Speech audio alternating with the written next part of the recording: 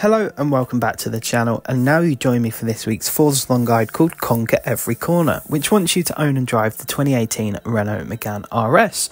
So without further ado let's get stuck in. Now this is a 2018 Renault Megane RS and it will set you back 37,000 credits from the auto show so it's nice and cheap.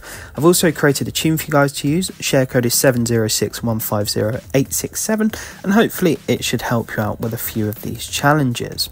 Talking of which, the first one here wants you to earn two stars at the Pequeno Puente speed trap. I hope I pronounced that correctly. Now, this is actually quite an easy speed trap, especially if you have a tune.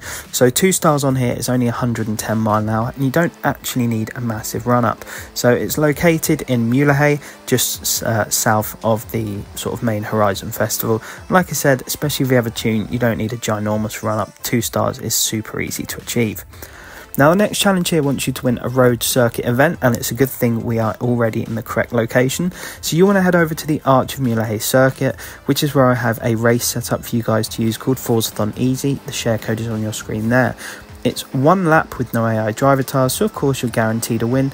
You can go flat out or take it at your own pace, it does not matter. At the end of the day, the second you pass that finish line, you'll have this challenge completed because you'll win against no one. Um, the final challenge here is another easy one, wanting you to earn 6 stars at speed zones. Now the speed zone I picked is the festival speed zone. 3 stars on here is only 110 mile an hour or 2 stars is 85 so it's really really quick and easy one to complete.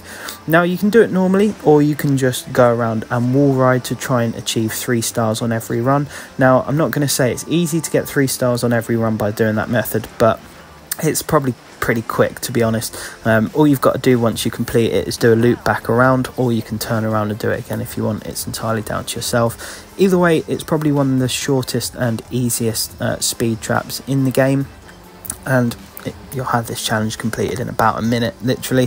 So a nice final challenge to finish on there. Now hopefully this guide has helped you out.